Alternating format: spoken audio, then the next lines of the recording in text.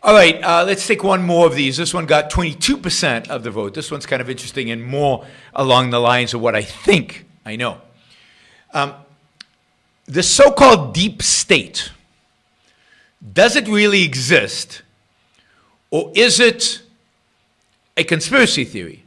Trump supporters say that the deep state conspires against him.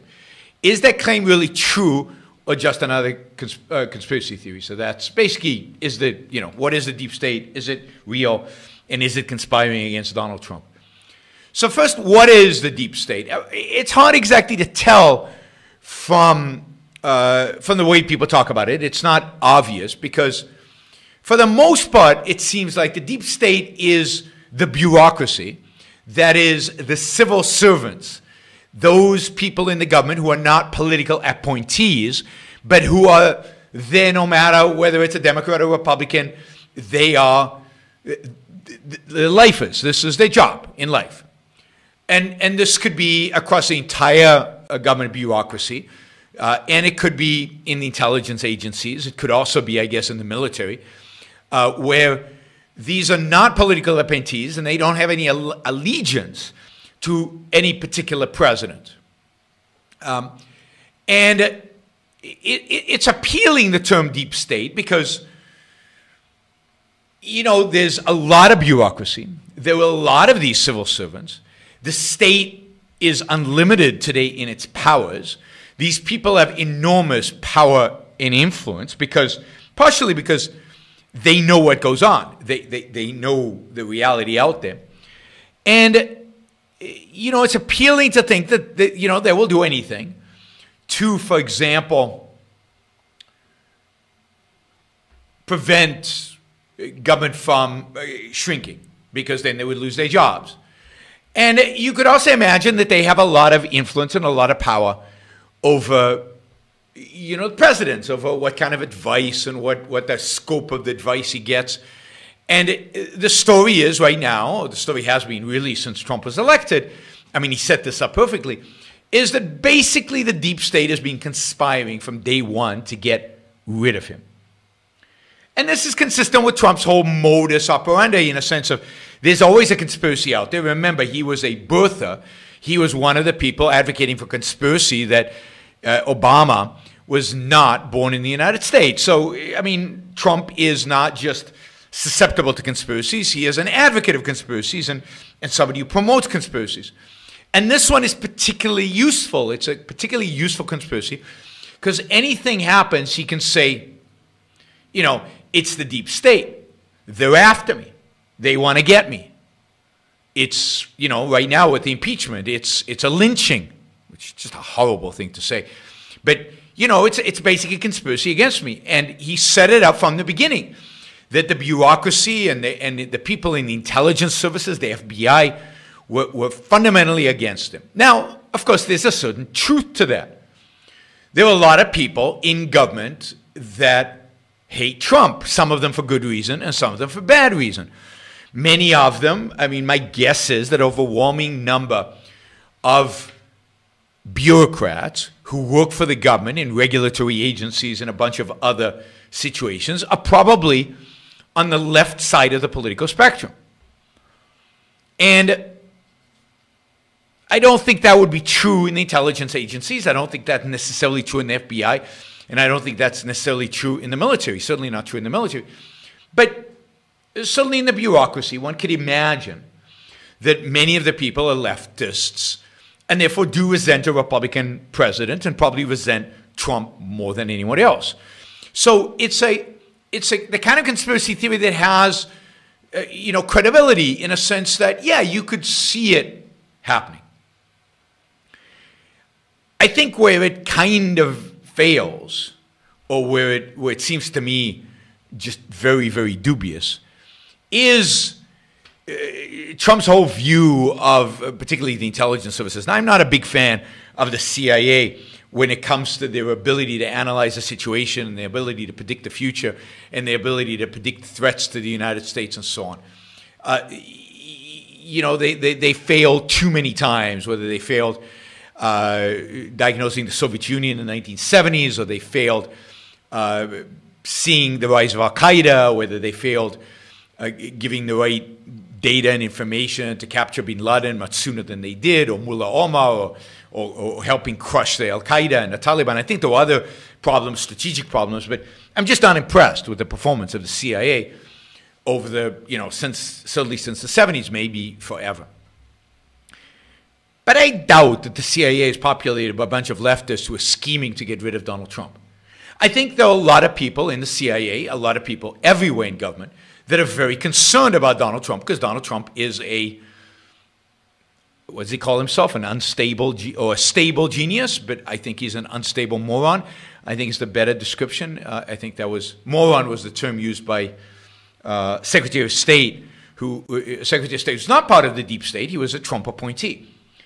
So one aspect of this is just I find it, I don't find it believable that career intelligence services people, uh, and, and, and certainly more than, you know, maybe a few, but, but that the entire agency system, including the people at the top, including people that Trump himself has appointed, are all part of some conspiracy to get rid of Trump.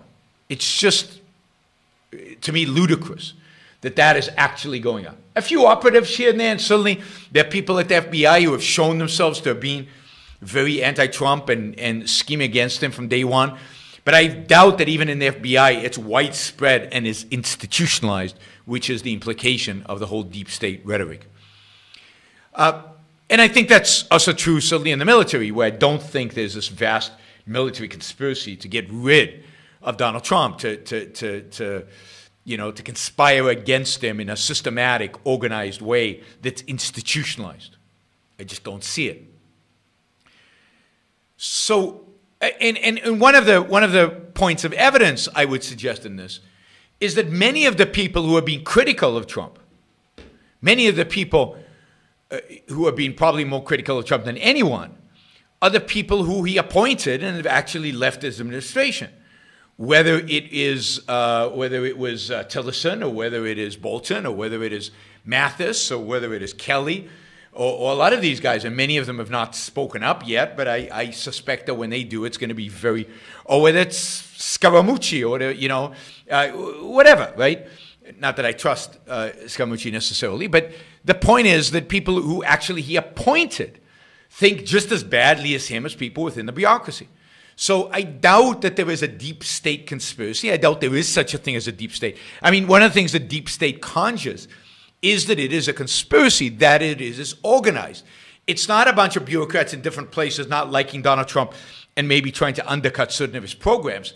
It's an organized effort, a conspiracy with a leader and cells that are in government trying to undercut the president and produce what he has called a coup. That I think is ludicrous and, and it's just not happening. And again, I think a big part of this is the fact that the people who think the worst of Donald Trump are the people who actually, actually were appointed by him. Now, I don't know if you've ever seen, here's a television recommendation, I think one of the best television shows ever, ever produced. There was a show on the BBC so it's a British show, but you can see it uh, maybe on BBC America, maybe on maybe on Netflix. I don't know, but you can certainly find it. You, you used to be able to find it PBS maybe. Um, you, you, used to be able to find it on American TV, and that is a show called Yes Minister. Yes Minister. And Yes Minister was built on this premise. You've got some guy getting elected to Parliament, who is then appointed in the British system to be a minister right? Minister of some, some, something, something, something affairs, right? Now, he now has reporting to him a bunch of civil servants. Civil servants who have been at this job for decades. Civil servants who know the government inside out. Civil servants who know everything. Right? By the way, those of you filling in the baseball scores, thank you. Uh, much appreciated. After this, I'm going to go catch the final innings of the game. Um, and what the show does in a brilliant way, and, and ultimately there's a show called Yes, Prime Minister, when one of the ministers becomes Prime Minister. Um, the show shows brilliantly how most how stupid most politicians are and how easily manipulated they are by the civil servants. And basically what the show shows is how the civil in a humorous, funny, but really, really, really, really smart way. And I love smart humor. I, I can't think of a comedy, a modern comedy that I like, particularly a, a, film, because it's all dumb humor. The whole point of since I think the the beginning of dumb humor uh, I mean, there's always been kind of dumb humor, kind of slapsticky, uh, but it but it was never. It really got dumb, and and kind of relished the dumbness with Dumb and Dumber. I think Dumb and Dumber was the beginning of the end of American comedy. Anyway, this is smart comedy, and it, it shows how easily manipulated these people are. It's these politicians are. How clever the civil servants are. And it's not like the civil servants have a big agenda. It's not like the civil servants care who the minister is. It's not like the civil servants really care about any particular policy. What they really want is they don't want changes to status quo. What they really want is to maintain their power. What they really want is to maintain control. What they really want is the politicians not to interfere. They want to run things. And it is hysterical. So I highly, highly recommend Yes Minister.